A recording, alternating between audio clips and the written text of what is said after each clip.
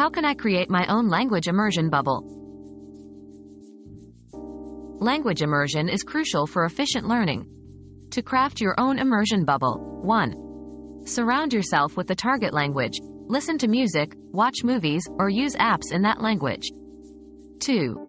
Engage in regular conversations with native speakers, either in person or online. 3. Label objects around your home with their names in the target language. 4. Think in your chosen language, forcing your brain to adapt faster. 5. Join or form a group where you only communicate in the language. Remember, immersion isn't just about location, but consistent exposure and practice.